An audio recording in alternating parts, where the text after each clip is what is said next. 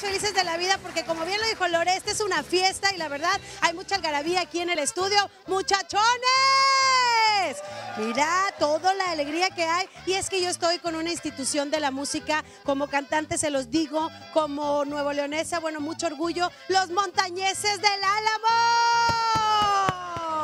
Luis Antonio, cuéntanos, bienvenido, buenos días. Oye, bueno, buenas tardes ya.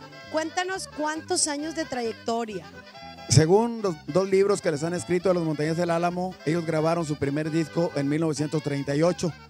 La primera generación se terminó el día 3 de diciembre de 1973 al fallecer don Nicandro Mier, el papá de los hermanos Mier. Siguió don Pompeyo y esa generación se acabó en el 2014. Ahora en la tercera generación les toca a Víctor Aguirre, a Carlos Campos, a Lencho Morales y a Lino Peña. Oiga, qué maravilla y cómo no, si nos han acompañado siempre a través de toda nuestra vida, la vida de nuestros abuelos, de nuestros padres y de futuras generaciones, la música de los montañeses no solamente se escucha aquí, sino alrededor del mundo han representado a México. Andamos promocionando ahorita el disco número 107 y queremos al público que está celebrando junto con nosotros el adulto mayor, recordarles nuestro Facebook, Los Montañeses del Álamo Oficial. Denle like, ahí los esperamos. Y ahorita vamos a hacer que las parejitas que andan concursando bailen algo zapateado. El que bailando quiebre el piso entre José Antonio Treviño, el recta, la morocha y nosotros pagamos la reparación. Ándele, sí, porque aquí se vino a bailar, a sacarle polvadera al piso para que se acabe la duela. Al cabo, compi pone una nueva, ¿verdad? Sí. Bueno, los dejamos totalmente en vivo con la música internacional de los últimos de sus amigos. Ellos son y así tocan los montañeses del Álamo, el rascapetate. ¡Vámonos! Todos los abuelos, todos. Va a empezar la eliminación.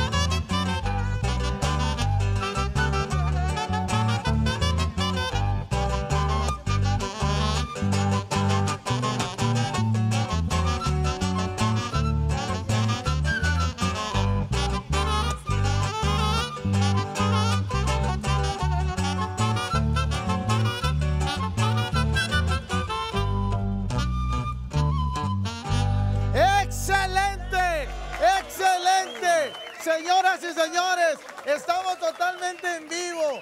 Tenemos más, ¿qué serán? Como 80 abuelitos aquí bailando. Así Ah, es. pero la energía maravillosa en este estudio. Oye, todas las experiencias nos las están pasando y además trae muy buena vibra a todos los Sí, abuelitos. mira, ya lo dijiste tú, experiencias. Quiero decirles, los abuelos nos enseñaron tantas cosas. ¿eh? Cuidar. Ah, sí, a dónde ir a pasear, qué comer, qué nos conviene, qué no nos conviene. Pero ahorita nos están enseñando que hay que seguir disfrutando la vida, Que nada te detenga. Exacto. Pero además, fíjate, la hacen de todo y la hacen de abogado, porque son los que nos defienden. Cuando hacemos las travesuras siempre dices, mamá, espérame tantito, abuelita. Y son los que siempre nos defienden, ¿sí o no? Y te peleas con la mamá y ¿para dónde corres? Con los abuelitos. Los abuelos. ¿eh? Abuelos, Por eso hoy ¿Eh? declaramos abogados a todos los abuelos. Son abogados. Oye, no, y te voy a decir una cosa. eh, las que salen embarazadas primero van y le dicen a la abuela, ¿cómo?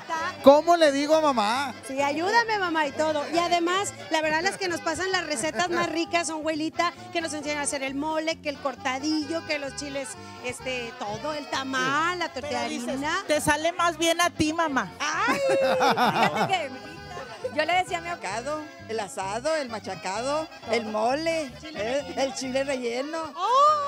Oye, ¿a ustedes quién les cuidó a los niños para irse a los antros? ¿Quién?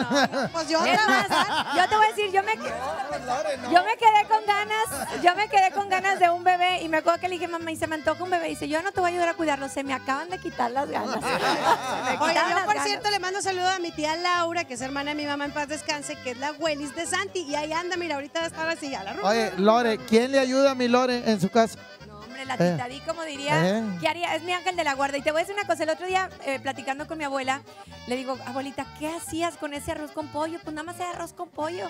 ¿Qué le ponías? Dime, porque lo quiero hacer. Me dice, mucho amor, porque Ay, así nos cocinan las abuelas, Qué rico. con un amor. Así que un besote a todas las abuelas que...